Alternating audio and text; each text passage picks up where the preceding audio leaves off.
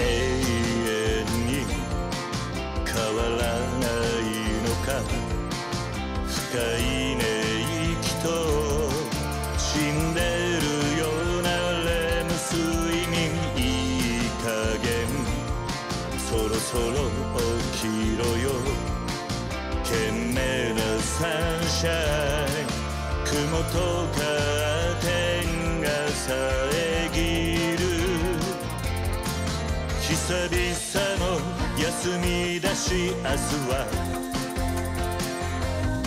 泳ぎに行こう今頃多分夢の海の中。投資がいなくはしゃいでボート貸し切りにして沈む夕日眺めれば最高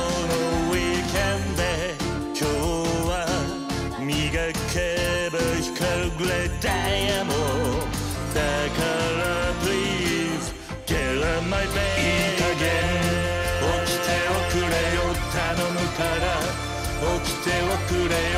いつまでも起きてこないよ。俺も